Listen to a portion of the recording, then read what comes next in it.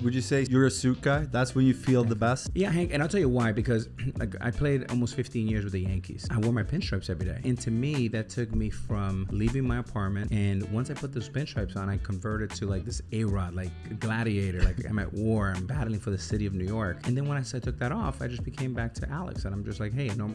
So I, I love to work today, and when I go to the office, I'm there five days a week, suit and tie. It's not because I like to dress up. Yeah, I do like to dress up a little bit, but in my mind mind, I'm here to work. Mm-hmm. And then the minute I get home, put on my pajamas and just like chill out.